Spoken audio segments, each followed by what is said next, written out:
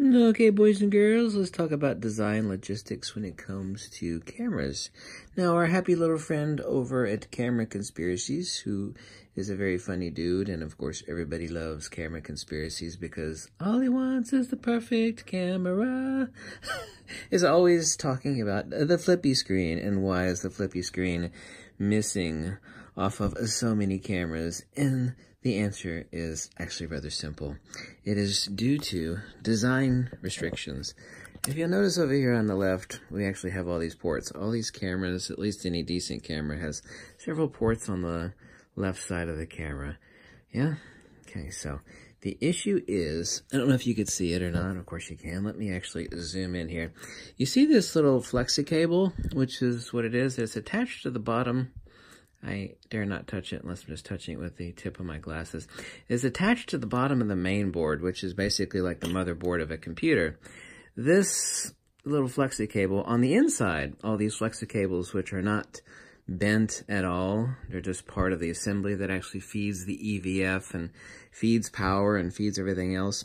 They're uncoated. This one's actually has a type of rubberized coating, but nevertheless, it's paper thin and it's extremely fragile.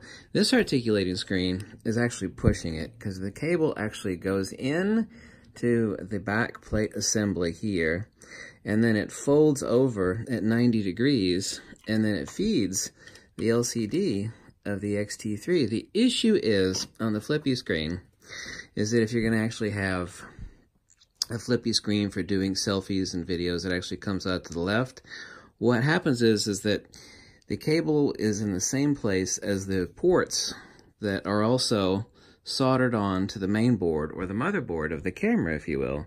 And this creates a design problem. Also, too, if you want to make the camera have a flippy screen, it has to be thicker because then you actually need to attach the uh, LCD feed flexi cable to the main board behind these ports, but if you attach it underneath here, you actually can't have a flippy screen that goes off to the left. Sony was able to accomplish this by actually having it attached right here, but that creates a problem because I don't know if you know this or not, but if you bend a piece of paper so many times, what will happen is it will it'll start to fall apart, right?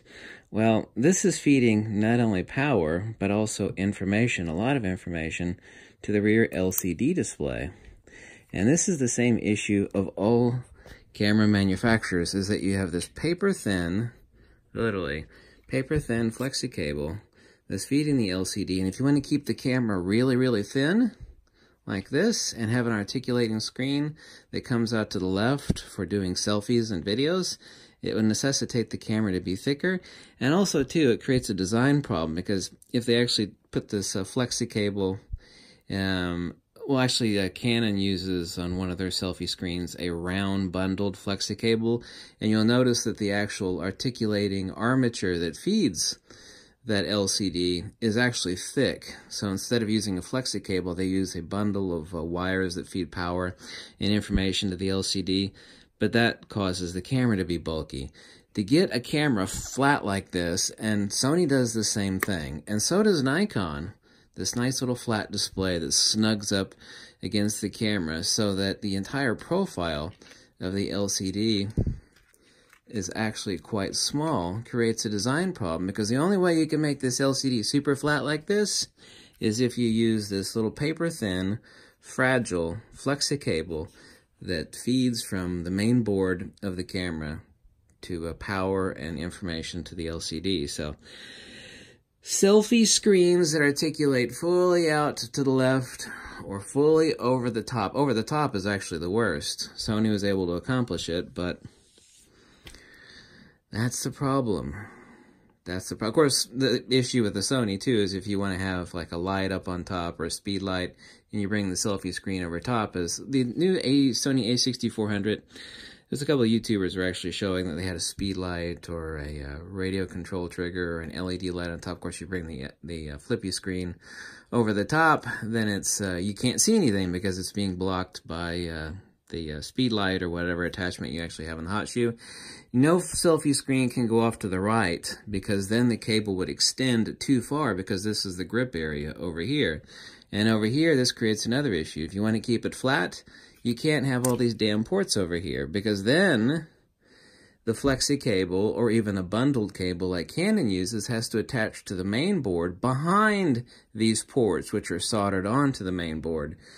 So the reason why you don't see selfie screens on uh, a bunch of these uh, nice super flat cameras, and this is not a Sony issue or a Fujifilm issue or a Nikon issue, it's, it's simply a design issue, is that, you know, this little flexi cable here is really fragile. There's only so many ways that you could twist it and bend it.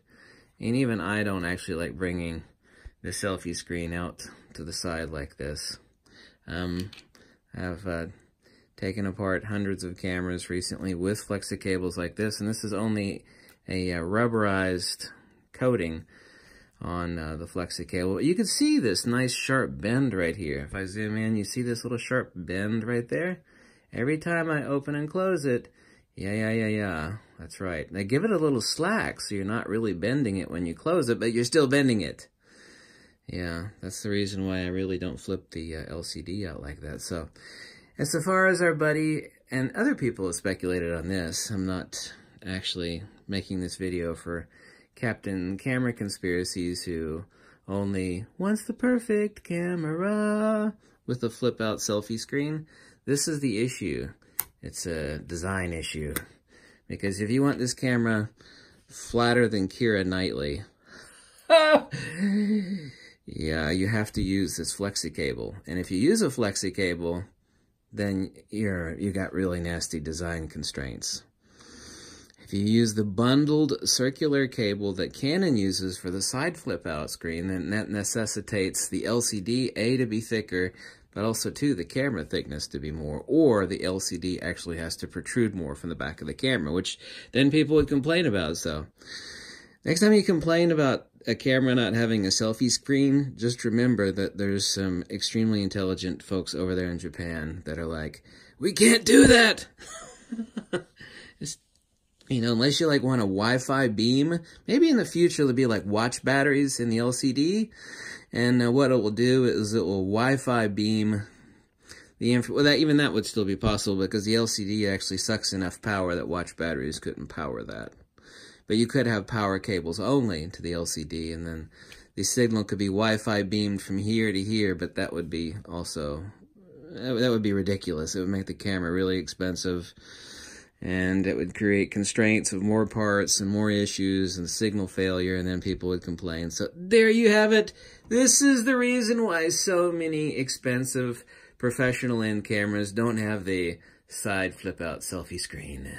Yeah. You can accomplish it, but it creates other issues in making the camera thicker. I hope I explained that fully. Thank you so much. Goodbye.